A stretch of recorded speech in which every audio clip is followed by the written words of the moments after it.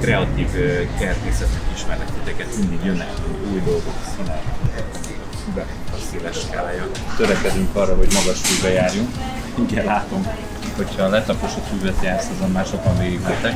Tartunk klasszikus növényeket, asztert, káposztát, krizantémot, árvácskát, de nem az a fő hangsúly. Törekedünk arra, hogy a piacon szabadáru készlettel unikális dolgokkal jelenjünk meg. Minden évben bevállalósan valami meghökkentő újdonságot szeretnál. Készülünk, 40 újdonságot készülünk 2024 Nézzük a, a külföldi trendeket. Majdnem másodlagos a növénynek a mérete, hogyha olyan, olyan a csomagolás, az a jó növény, ami jól néz ki. Vagy követed jó ütemben az nagyítsuk még egy picit csinál. Megjelennek olyan növények az interneten, hogy vagy gerjesszük ezt a hullámot, egy, egy fajta növényet, vagy ha nem gerjesszük, akkor erre a hullámra föl kell ülnünk.